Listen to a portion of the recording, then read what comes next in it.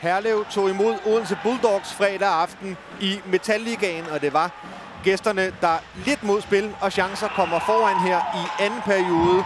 Gunnars Sportsovs klapper til den uden betænkningstid, og den føring holdt et par minutter eller syv i anden periode. Fornemt Herlev-opspil her giver Maxim Popovic muligheden til at udligne.